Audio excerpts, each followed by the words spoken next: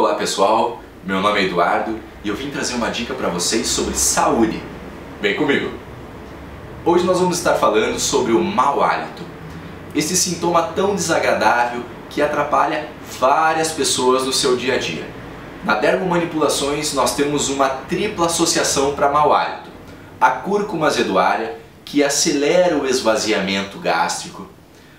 A clorela, que auxilia no metabolismo para a digestão desses alimentos, e a alcachofra, que acelera a sua digestão, principalmente gorduras.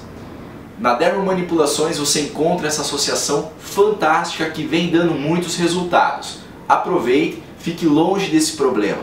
www.dermomanipulações.com.br Aproveite essa dica.